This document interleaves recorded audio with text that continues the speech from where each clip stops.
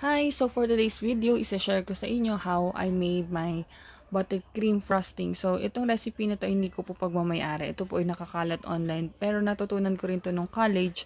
So isa-share ko rin siya sa inyo since may mga nagtatanong anong frosting yung ginagamit ko. Usually whipped cream or buttercream. Depende sa panlasa ng customer. So, nag-start ako sa pag-add ng half cup ng butter. Kalahati lang ng golden crown. Any butter, pwede naman. Pero mas okay kung yan na lang. Kasi medyo mura. Para rin ma-tight, pag-tight yung budget natin, ba diba? Mura lang naman yung golden crown. Nasa 50 plus lang. Tapos, para mas stable, usually yung iba kasi hindi naglalagay. Pero ako, naglalagay ako ng shortening. Shortening is vegetable fat ha hindi yung yung sa pork fat, yung lard, hindi pwede yung lard. Kailangan shortening talaga siya. Iba po yung large, large, yung lard sa shortening. Kasi may, magkakaroon ng aftertaste yan if lard yung gagamitin nyo. Okay din if Crisco, yung brand, kaya lang medyo mahal. Yung ginamit ko kasi is Magnolia Primex. Pwede rin Puratos. So, saan po makakabili niyang shortening, Miss Cha? Meron po niyan sa Shopee. Pwede kayong bumili sa mga baking store. Wag lang po yung nasa palengke na ano na lard. Pwede rin naman siya. Kaya lang na-try ko. May aftertaste talaga siya. So, i-mix mo lang siya hanggang sa mag white-white lang ng konti yung butter. Tapos, pwede ka na mag-add ng milk. Um, dapat 3 tablespoon. Pero yung ginawa ko kasi is mga 2 tablespoon lang yan or 1/8 cup. Kasi gusto ko medyo matigas yung consistency ng buttercream. Since ita-travel nga daw yung cake. Ito nga palang American buttercream na to is a crusting buttercream. So, ibig sabihin, medyo tumitigas siya kapag nare-rest. At medyo matigas and grainy. Pero, basta is beat mo lang siya ng maayos, mag smoothen din naman siya. Tapos, nag din pala ako ng vanilla, guys. Konti lang. Tapos, i-mix-mix mo lang. If whipped cream user ka, tapos nag-switch ka sa buttercream, medyo maninibago ka kasi medyo mabigat yung consistency ng buttercream na to.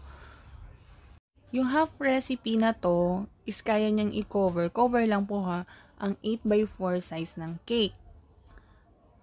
Natutunan ko tong American buttercream no college pa ako kasi sumali nga ako sa contest before. Ito yung tinuro dati ni Chef Aina. So hanggang ngayon ginagamit ko pa rin. Pero ngayon more on whipped cream ako ngayon guys kasi mas mura siya, tsaka yun yung hinahanap ngayon ng mga client ko. So, ngayon guys, nag-add muna ako ng 2 cups ng powdered sugar, tapos ibibit ko muna siya. Huwag overbeat guys, ang pangat kasi ng consistency ng buttercream kapag overbeat na.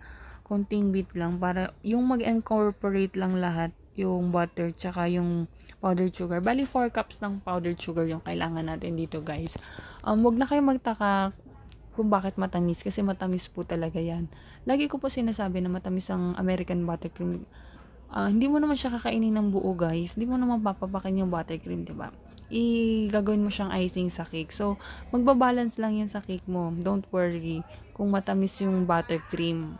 Kasi once na nasa cake na yan, ang sarap na yan guys. Super balance lang yan sa cake. Lalo na kung yung recipe ng cake ko yung gagamitin mo. Swak na swak lang yan. Ang dami kasing nagko-comment dun sa YouTube account ko na hindi po ba masyadong matamis kasi ang daming powdered sugar, ganyan ganyan. Eh ganun po talaga, guys. Hindi man natin pwedeng baliin yung recipe, 'di ba? Kaya mag-switch na lang kayo sa whipped cream kung ayaw niyo ng matamis.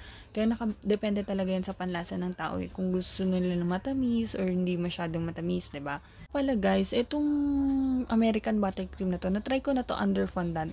Pwede rin siya, guys, kasi nakagawa ko ng 3 tier na all edible cake tapos, ang, ang icing niya is ito, under fondant. Stable din naman siya. Wag lang super kapal, tsaka super init ng panahon. Tapos, ayan, nabit ko na. Medyo mabigat yung consistency niya, guys. Huwag kayong magtataka. Ganyan po talaga siya.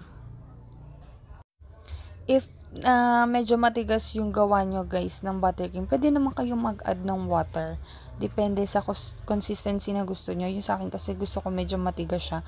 Kasi mas stable siya pag 2 tablespoon lang ng milk.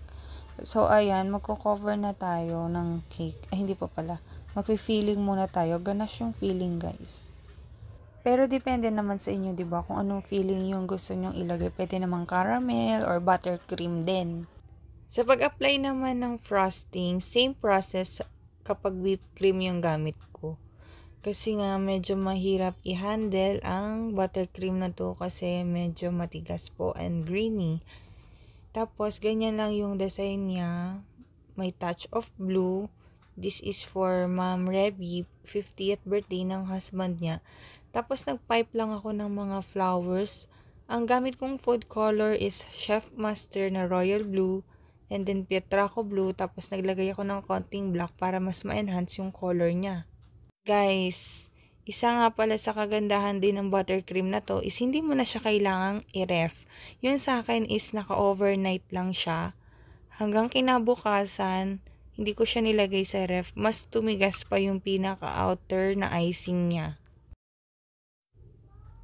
Tapos naglagay lang ako ng drip kasi yun yung design niya. Tansya lang ako yung mga tirang ganache. Nilagyan ko lang uh, ulit ng cream para ipang drip So, hindi masyadong malabnaw yung drip na ginawa ko kasi yung design is konti lang yung pinaka-drip niya. Kaya ganyan lang. Tansya-tansya lang tayo guys. Iba-iba yung type ng buttercream natin guys. Eh. Yung pinakita ko lang sa inyo is isa sa mga buttercream recipe. So, ayan yun na yung finished product. Thank you!